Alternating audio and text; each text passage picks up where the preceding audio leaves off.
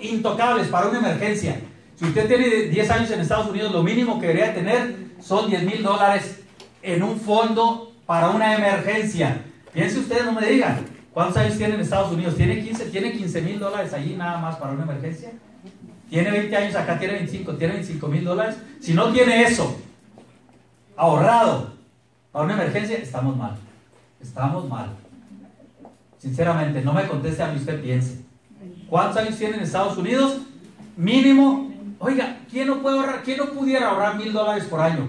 Yo no creo que haya alguien que esté sano, que esté sano. Yo no hablo de gente deshabilitada ni de niños, no hablo de ancianos ni de niños. Hablo de una persona que tiene como nosotros, ¿verdad? La bendición de poder caminar, hablar, de poder mover. Ahí tenemos el grupo de sordomudos, perdón, de gente, ¿verdad? válida y que está haciendo negocio, el que quiere hacerlo. Y nosotros que hablamos, reímos, cantamos, bailamos, brincamos, escuchamos, todo, ¿qué nos falta? Entonces, entonces, por favor, seamos realistas. No vine aquí a regañar a nadie. En este libro nos habla precisamente eh, David Bach, en este libro, habla de, la, de lo que nos hace falta, que son cosas tan sencillas para que nosotros tuviéramos un buen fondo de retiro, de jubilación. Pero este libro aunado, las enseñanzas que trae este libro aunado al producto y al sistema que tenemos en Excel, si no la hago yo, si no la hace usted es porque en plano no queremos, es porque no estamos tomando cartas en el asunto.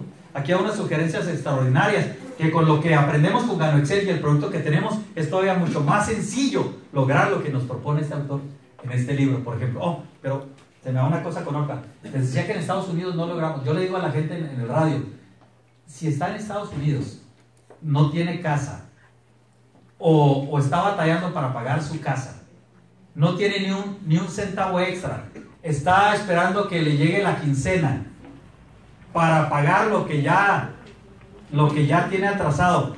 Y no le queda ni un centavo en la bolsa, entonces, ¿qué está haciendo en Estados Unidos? Mejor vaya, mejor, perdónenme, digo, mejor vaya, vayámonos para que no se sientan, vayámonos para México, vayámonos para El Salvador, allá ni pagamos renta. La mayoría de la gente ya tiene casa, porque es la que es de los papás, la que dejó el papá, porque usted tiene casa. La mayoría de la gente tenemos casa en México, o en Guatemala, o en Salvador, ¿sí o no? Allá no pagamos renta. Allá estamos mejor que aquí, porque aquí tenemos que pagar renta. Y si no tenemos ni un, ni un dólar extra, entonces ¿qué estamos haciendo aquí? ¿Qué estamos haciendo aquí? para vivir peor que en mi país, mejor estuviera allá. ¿Sí o no? Es que venimos a Estados Unidos, desaprovechamos la bendición, las grandes oportunidades que tiene Estados Unidos. Las desaprovechamos. Si no le pasa a usted, nos pasa a muchos, nos ha pasado. Yo a la edad que tengo, a los 39, estoy, estoy aprendiendo muchas cosas. Estoy, estoy ahora empezando a hacer cosas que antes no había hecho. Desde que estoy con Ganoexcel he hecho cosas que antes no había hecho porque Ganoexcel me da mucha oportunidad. Estamos promoviendo libertad económica, estamos promoviendo salud. Les voy a, les voy a platicar muy rapidito, hablando de la gente que de veras sí, sí aprovecha. En El Salvador, ¿quién es del Salvador? Ah, mira, pues acá tengo El Salvador. ¿De qué, ¿De qué lado del Salvador somos? De la libertad, puerta de libertad es un calor, hijo Phoenix es un refrigerador para conocer la puerta. No, tanto así, pero la libertad hace mucho calor, muy húmedo. En El Salvador, ¿de dónde eres? ¿De qué parte del Salvador? Usulután, pues por ahí, da más caliente el Usulután todavía que en la libertad. No, igual, porque el Usulután no está tan húmedo, pero yo conozco El Salvador, casi todos los departamentos. He estado prácticamente en los 14 departamentos de El Salvador, en Morazán, en La Unión, en San Salvador, en La Libertad, en Cojutepeque, por donde quiera andado. ¿Sabe por qué? Gracias a Dios, porque allá está Gano Excel, porque ahí está Gano Excel. Yo no conocía El Salvador, yo conocí El Salvador gracias a Gano Excel.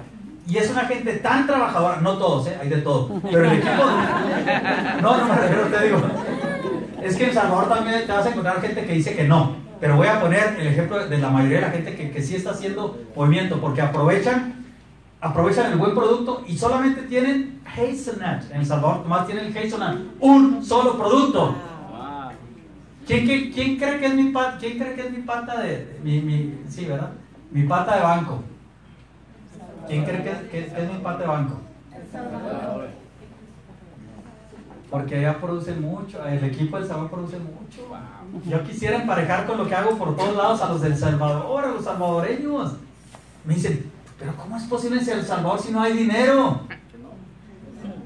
precisamente como no hay dinero en lo general, Ganoitosh es una gran oportunidad de hacer dinero. Y allá sí lo aprovecha la gente, allá sí lo aprovecha. Les voy a decir, hace como unos tres, años y medio que empecé a El Salvador, lo que la gente así valora. Yo estaba en un hotel, en una primera o segunda vez que llegaba, estaba en un hotel eh, hospedado, me salí en la mañana, como a las 8 de la mañana, 9. Salí a la puerta allá al frente del hotel, me paré porque estaba, pues, estaba conociendo, y venía un señor, lo vi desde lejecitos, en una silla de ruedas. Venía un señor en una silla de ruedas, batallando. Un señor de unos 60 años, ¿sabes? En, su silla de ruedas. Dándole y me empecé a verlo y me empezó a, me empecé a sentir pues, pena, ¿no? Porque, pues de verlo que batallaba y, y la calle difícil con, con su vida.